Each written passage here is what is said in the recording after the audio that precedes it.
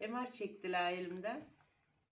Tembel olduğum için MR bakmadan tembel olduğun için kullanamıyorsun dediler. Benim psikolojimi de bozdular. Diye gittik. Hiç ilgilenen olmadı.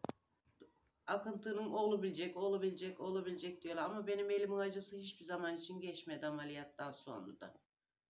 Kendi işimi görmediğim için şey yapıyoruz, hiç ilgilenen olmadı. Onun için dünürüm vardı. Tavsiye üzerine İzmir'e 7 ay çektim. 7 ay sonra İzmir doktoru geldim. İç, elimin içinden büyük bir odun çıktı. 20 Mart'ta sobayı kaldırayım diyerekten boruyu çıkarayım derken merdiven çıktım. Merdivenden düştüm. Ayağım kalçadan kırıldı. Elim elimin üstüne düşmüşüm.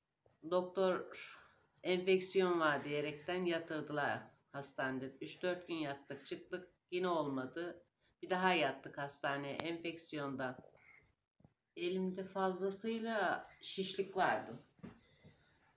Onun için ameliyat dediler. Deniz Hanım ameliyat yaptı. Hem elin içinden hem üstünden. Elim ameliyat bir ay hastanede yattım. Elim elimin içinde göbeğinde bir tane delik oluştu. Üstünde de delik oluştu, altında da delik oluştu. Doktora tekrar gittim.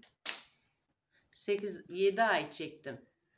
7 ay sonra doktora gittik. Doktor direktmen MR'a baktı. Direktmen içinde bir şey var dedi. Düşündüm.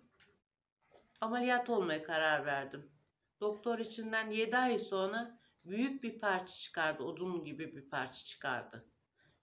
15 günü varmadı elim rahatlattı. Dinlendim.